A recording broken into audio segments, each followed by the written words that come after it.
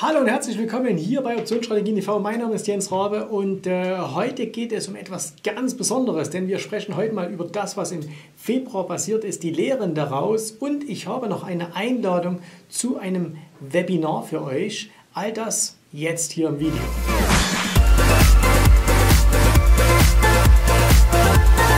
So, ihr seht, ich stehe heute hier bei mir im Studio und das Studio ist auch äh, so, wie es wie man es normalerweise nicht sieht, also hinten hier mit einer Green Wall, wo wir dann immer so Charts einblenden und so weiter. In diesem Studio hier machen wir immer unser Coaching ja, und auch unser Helpdesk, also das, was immer Donnerstag stattfindet, Coaching ist montags und mittwochs. Und äh, ich habe mich heute ganz bewusst mal hier reingestellt. Ähm, und zwar hat das mit dem Webinar zu tun. Ähm, äh, dazu aber später noch ein bisschen mehr. Ich will mal mit euch ähm, darüber sprechen, was im äh, Februar passiert ist. Ähm, es gab ja in der letzten Zeit auch hier auf dem Kanal sehr äh, angeregte Diskussionen, so will ich das mal nennen. Und äh, zuallererst möchte ich mich mal bei all, wirklich bei allen bedanken, die sich an dieser Diskussion beteiligt haben. Ne? Ähm, und ich meine das jetzt wirklich ganz ehrlich, weil es ist natürlich immer gut, wenn man Feedback bekommt. Und na klar, logisch, man hat am liebsten immer positives Feedback. Also auch mir ist es am liebsten, wenn jeder kommt und sagt, Jens, du bist ein super Typ und alles, was du machst, ist großartig. Äh, das finde ich toll. Aber ich weiß natürlich auch, ich meine, ich habe jetzt über, äh, ich bin seit über 25 Jahren äh, selbstständig, habe Unternehmen, Firmen. Ähm, da weiß ich natürlich, dass das nicht immer so ist. Und deswegen ist es natürlich auch ganz normal, dass dann auch mal, gerade wenn es eben nicht so läuft, dass dann Kritik kommt. Und ich muss aber ganz ehrlich sagen, dass doch äh, bis auf wenige Ausnahmen ein, ein Großteil äh, der hier äh, vorgebrachten Kritik, Anregungen und so weiter, ne, dass das doch sehr konstruktiv war.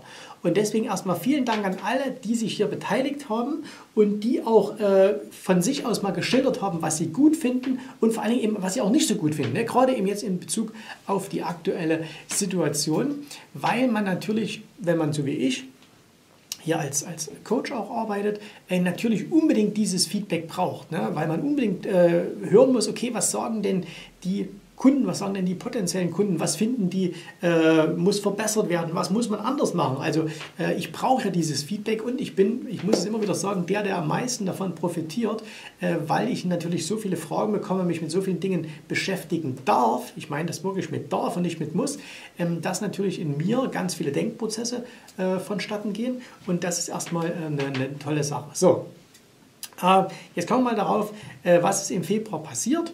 Ganz klar, wir hatten bis zum äh, Januar 2018 wirklich eine fantastische Zeit. Ein paar Jahre lang haben wir richtig viel Geld verdient. Und dann im Februar, März, das war nicht so gute Zeit. Ne? Da haben wir äh, auf die Mütze bekommen. In den einen Konten ein bisschen mehr, in den anderen Konten ein bisschen weniger. Und ähm, ich will einfach mit euch ich will das mal so ein bisschen auseinandernehmen. Was ist denn da überhaupt passiert? Ne? Weil ich glaube, vielen ist gar nicht bewusst, dass das, was wir im Februar erlebt haben, gerade in den ersten Februartagen, so 5., 6. Februar, dass das etwas wirklich Außergewöhnliches war. Ne? Dass das eine ganz, ganz außergewöhnliche Situation war. Ähm, der größte Anstieg des VIX, den wir jeweils an einem Tag gesehen haben, der Zusammenbruch etlicher äh, Short-Vola-Produkte, XIV, SVXY mal als Stichwort. Ähm, da kam also ganz, ganz viel zustande und ähm, ich glaube, das hat viele äh, wirklich äh, überrascht. Und ganz ehrlich, mich auch in der Heftigkeit. Das hat mich auch ein bisschen überrascht. Ähm, jetzt ist es bloß so, dass äh, die, die Folgen davon für mich jetzt nicht so dramatisch waren, aber, und das ist zum Beispiel eine Sache, die ich gelernt habe, für viele Kunden von uns, äh, die haben mit so etwas nicht gerechnet. Also die waren damit auch mit dieser Situation überfordert und jetzt ist natürlich auch meine Aufgabe als Coach, als, als auch der, als jemand, der einen Börsenbrief herausgibt, äh, damit umzugehen und daraus Lehren zu ziehen. So, und ähm, jetzt könnten wir das hier in einzelnen kleinen Videos ähm, äh, nacheinander aufarbeiten, also was man da machen muss. Stichwort Positionsgrößen, Stichwort Hedging, Stichwort Risikomanagement, Stichwort hat die Morgenroutine überhaupt so funktioniert, wie sie funktionieren sollte? Was haben wir, ich, für Fehler gemacht in den Trades? Ne? Weil das steht ja außer Frage, dass wenn man verliert, ähm, dass man da, ähm, vor allem wenn man mehr verliert, als man eigentlich erwartet, dass man da Fehler gemacht hat. Das ist ja, ist ja auch ganz normal. Und ähm, da gibt es also ganz, ganz viele Punkte. Und deshalb habe ich mir erst überlegt, okay, wir hacken das alles so in kleine Teile und machen dann hier Videos. Und ähm, ich finde aber, diese Videos werden dann immer so ein bisschen aus dem Zusammenhang gerissen. Ne? Da ist da mal was, da ist da mal was, da ist da mal was. Und ähm, deswegen habe ich mich entschlossen, äh, dass wir sagen, wir machen lieber ein ganzes Webinar. Ne? Wir machen lieber ein ganzes Webinar, wo wir mal von Anfang bis Ende das alles auseinandernehmen. Also, dass wir uns anschauen, okay, was ist da wirklich passiert? Ne? Was war das Besondere? Was hat das für Auswirkungen auf die Zukunft? Was hat das mit einzelnen Positionen gemacht? Ne? Wie haben die sich verändert? Und äh, was habe ich im Trading ganz konkret auch vielleicht für Fehlentscheidungen getroffen? Äh, und was sind vor allen Dingen, und das ist das Aller, Allerwichtigste, was sind die Lehren daraus? Ne? Was muss man ändern und welche Konsequenz haben diese Änderungen? Also, äh, werde euch zum Beispiel äh, eine Methode zeigen, wie ihr konsequent sagen könnt, ich beschränke das Risiko meines Portfolios, egal was passiert, auf einen bestimmten Prozentsatz. Egal was passiert, ähm, ich kann das so eingrenzen, ne? das ist das ist etwas, was, äh, was der geht mit Optionen, dass ich nicht mehr als einen bestimmten Prozentsatz meines Kontos verliere, maximal. Aber, und das ist nämlich das, was immer so ein bisschen aus dem Zusammenhang gerissen wird, was hat denn das für Konsequenzen? Und äh, will ich oder bin ich bereit, mit diesen Konsequenzen zu leben? Und ähm, deswegen ähm, habe ich mir überlegt, ich mache das an einem Stück. Ich mache ein ganzes Webinar, wo ich von Anfang bis Ende all diese Fragen durchgehe und äh, jetzt saßen wir heute hier in der Firma zusammen und haben überlegt, okay, ähm, wen laden wir zu diesem Webinar ein? Der erste Gedanke war, wir machen das nur für unsere Kunden. Also für all diejenigen, die bei uns im Coaching sind, wobei, da, machen wir, da haben wir das sowieso schon ein bisschen mehr ausge, äh, ausgearbeitet, aber da werden wir es auch nochmal mit äh, äh, noch ein bisschen mehr machen. Aber also wir haben gesagt, okay, vielleicht für Coaching-Kunden, für diejenigen, die bei uns äh, das ähm, äh, das den, den Börsendienst haben, äh, für diejenigen, die das Webinar kleine Konten gekauft haben. Ne? Also sagen, okay, machen wir es nur für die, weil ähm, im Grunde genommen, wenn ich, ich meine, ich bin ja niemandem Rechenschaft schuldig, ne? und wenn schon, dann doch nur unseren Kunden. Also diejenigen, ähm, die hier auch ähm, eine Erwartungshaltung haben, weil sie ein Produkt von uns gekauft haben. So, alle anderen, und da gibt es ja auch ein paar, ne, die immer so ein bisschen äh, was, was rumstängern und so, aber die nie Kunden bei uns sind, äh, nie waren und auch, das weiß ich auch, nie werden, warum soll ich denen eigentlich hier irgendwas erklären müssen? Ne? Ähm, auf der anderen Seite haben wir uns dann gesagt, naja gut, aber ähm, dann ist das so wieder, dann klingt das schon wieder so ein bisschen wie, wir wollen da irgendwas verkaufen. Ja, also du musst jetzt dieses Abo haben, damit du mitmachen kannst. Und jetzt gibt es ja auch viele neue Leute, die dazukommen, die hier immer wieder die Videos schauen von dem anderen Kanal, ähm, die halt so irgendwie mal was von uns gesehen haben. Und deswegen ähm, habe ich gesagt, okay, am Ende, wir machen es jetzt für alle. Wir machen ein Webinar für alle. Das heißt, jeder darf an diesem Webinar teilnehmen. Egal, ob er bei uns Kunde ist oder ob er nur bei YouTube zuschaut, egal, ob er vorhat, bei uns Kunde zu werden oder auch, und da werden auch genügend da sein, äh, die niemals vorhaben, äh, bei uns Kunde zu werden, da darf die Konkurrenz zuschauen. Ne? Das macht sie ja ohnehin schon immer. Und äh, deswegen, das, also alle dürfen, dürfen mitmachen. Ähm, und zwar, das Ganze findet statt, ich habe es hier stehen, am 24. Mai 2018. Also das ist noch gut einen Monat hin. Warum nicht eher? Äh, das liegt nicht daran, dass ich mir bis dahin was ausdenken muss, sondern weil ich ja jetzt die ersten 14 Tage im Mai nicht da sein werde. Ich bin ja in den USA und äh, komme dann erst so am, ich glaube am, am 14. Mai bin ich erst wieder im Büro und dann haben wir hier noch Richtfest in der Firma. Also das heißt, ich, bis dahin ist mein Terminkalender extrem voll und ich will aber wirklich auch die Zeit haben, das mit euch zu machen, weil es wird auch kein 20-Minuten-Webinar, sondern werden wir schon ein bisschen länger machen. Also 24. Mai 2018, das ist ein Donnerstag um 18.30 Uhr. 18.30 Uhr und ähm, wir werden dieses Webinar ähm, Mal gucken, ob wir es aufzeichnen. Ja, wahrscheinlich werden wir es schon aufzeichnen. Ne? Also 18.30 Uhr, 24. Mai 2018. Link ist hier unten. Ihr könnt euch jetzt schon eintragen. Wir werden es aber natürlich jetzt auch in den nächsten Videos immer mal noch mit ankündigen. Wir werden noch ein paar Mails rausschicken und so. Das ist ganz klar. Und ähm, bevor jetzt der eine fragt, was kostet das jetzt?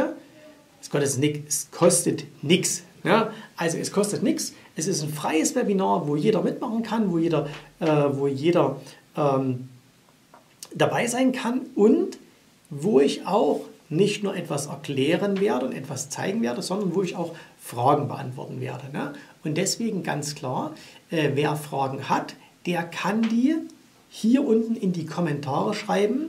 Wer jetzt aber sagt, ah, ich möchte das eigentlich nicht so öffentlich haben, ne, der kann mir das Ganze auch gern äh, per Mail schicken. Äh, ihr schickt das einfach unter die info.optionsstrategien.com info.optionsstrategien.com und ähm, schreibt einfach rein äh, Betreff Webinar 24. Mai, damit ich das dann auch gleich zugeordnet bekomme. Ihr müsst euch vorstellen, wir kriegen ja in der Firma am Tag gefühlt 100 E-Mails und ähm, wenn da jetzt äh, kein richtiger Betreff ist, dann dauert das sehr, sehr lange, die immer rauszufiltern. Deswegen schickt mir das also bitte mit einem entsprechenden Betreff. So, und ähm, ich denke, dass dieses Webinar Entschuldigung, äh, uns allen helfen wird, äh, uns für die Zukunft zu wappnen. Denn eins ist ja Fakt. Ne? Ähm, ich bin jetzt so lange dabei und ich mache so lange schon erfolgreich ähm, Optionshandel, dass das für mich jetzt überhaupt kein Grund wäre, ähm, zu zweifeln, ob das weitergeht. Aber was ich natürlich äh, erkenne, ist, dass man vielleicht gerade den Einsteigern, die sowas noch nie äh, erlebt haben, dass ich vielleicht unter anderem deren Risikobereitschaft anders eingeschätzt habe als meine. Weil, ich will euch das an einem ganz einfachen Beispiel noch erklären und ich werde es im Webinar noch mal ein bisschen ausführlich machen. Wenn ich zum Beispiel sage, ich habe in meinem kleinen Konto ähm, 3000, 4000 Euro verloren, ne? so, dann ist das für mich jetzt nicht so dramatisch und es liegt jetzt nicht daran, weil mir dieses Geld nicht wichtig wäre, sondern weil es tatsächlich in meinem Gesamten, was ich so tue, eben wirklich nur ein kleines Konto ist. Ne? Also ich habe deutlich größere Konten, ich habe andere Anlagen noch neben dem Optionshandel. Mache ich euch übrigens auch mal noch ein Video, warum, ähm, warum es äh, aus meiner Sicht absolut sinnvoll ist, mehrere Dinge zu machen, äh, außer nur Optionen zu handeln. Und das hat nichts damit zu tun, dass man an der Strategie zweifelt. Und äh, das heißt also für mich ist das wirklich jetzt, äh, ich kann mit diesem, mit diesem Verlust sehr entspannt umgehen, weil ich es in einem Gesamtkontext sehe. So, jetzt habe ich aber gemerkt, und das war mir vielleicht auch nicht so bewusst, dass ja für manche ähm, dieses, dieses Risiko, diese 3000 Euro Verlust, äh, eben viel, viel dramatischer sind. Und das hat, hat es gar nicht so viel damit zu tun, ob man jetzt ähm, viel oder wenig Geld hat, sondern wie risikobereit man ganz einfach ist. Ich zum Beispiel war immer schon extrem risikobereit und habe immer schon Gelder investiert, auch mit dem Bewusstsein, dass ich dieses Geld verlieren kann. Also wenn ich alleine bedenke, was ich äh, an, an, an, äh, an, an Dingen gekauft habe, an Dienstleistungen hier für meine Firma, dass ich mal, was weiß ich, irgendwelche ähm, äh, freien Mitarbeiter hatte, äh, schon vor, vor zig Jahren, vor 15 Jahren, äh, und wir wollten mit denen äh, was aufbauen. Ne? Wir wollten mal einen Fonds gründen, schon vor zehn Jahren oder so. Und weil wir keinen Zugang zu institutionellem Geld hatten, haben wir uns jemand engagiert, der uns äh, versprochen hat äh, und uns das gut verkauft hat, äh, uns diesen Zug, diese Zugänge zu verschaffen. Das hat mich Zehntausende von Euro gekostet und am Ende ist dann nichts rausgekommen. Das war mir aber immer wert, weil ich mir immer gesagt habe, okay, man muss halt investieren, wenn man was erreichen will. Und da ich nie weiß, welche Investition sich am Ende auszahlt, habe ich natürlich auch immer gesagt, okay, ich mache das jetzt, wenn es schief geht, so what, dann geht es halt schief, dann mache ich das nächste. Und das ist meine persönliche Risikoneigung. Die hat aber nicht jeder. Ne? Also muss ich darauf reagieren als quasi Dienstleister und werde das auch im Webinar nochmal ein bisschen zeigen, wie wir da jetzt auch vielleicht Dinge umstellen, um einfach denjenigen, die äh, risikoscheuer sind als ich, und das ist ja kein Makel, sondern das ist einfach eine Tatsache, jeder Mensch ist ein bisschen anders, ähm, da auch diese, diese Risikoscheu ähm, oder diese, diese Angst vor Verlusten etwas besser nehmen zu können und äh, wie man das auch wie man das vielleicht auch darstellen kann. Also, ich freue mich sehr auf dieses Webinar mit euch. Ähm, ich hoffe, es wird voll. Nein, ich bin mir sicher, es wird voll. Am 24. Mai 2018, 18.30 Uhr, Donnerstag, 18.30 Uhr nach dem Helpdesk. Äh, Link steht hier unten, meldet euch jetzt schon an und äh, dann sehen wir uns bis dahin. Ich wünsche euch eine gute Zeit, viel Erfolg und äh, bis zum nächsten Mal. Tschüss, Servus, macht's gut.